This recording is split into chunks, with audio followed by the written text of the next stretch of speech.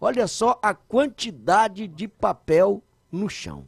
Olha só a quantidade de A papel imundície. É, é uma imundice, viu, viu? É realmente uma coisa lamentável, lamentável, entupindo o bueiro, né? Quer dizer, aí cai uma chuva, cai uma chuva, sai provocando enchente, sai provocando inundação, provocando transtorno para todo mundo. Como é que pode um candidato agir dessa maneira, né? Como é que pode E um os candidato agir dessa maneira? Os cabos também. eleitorais, pior ainda, né? Então é. Isso é mostra o caráter da pessoa, em que a gente pode até achar que a gente está pegando pesado, eu estou pegando pesado, mas é próprio do caráter, do, do grau de civilidade dessa pessoa. Não tem nenhuma civilidade. Deve, estaria melhor se estivesse num chiqueiro de porcos. É, infelizmente também, Aníbal, tem o outro lado, né? Tem candidato que usa desses artifícios para prejudicar o seu adversário, né?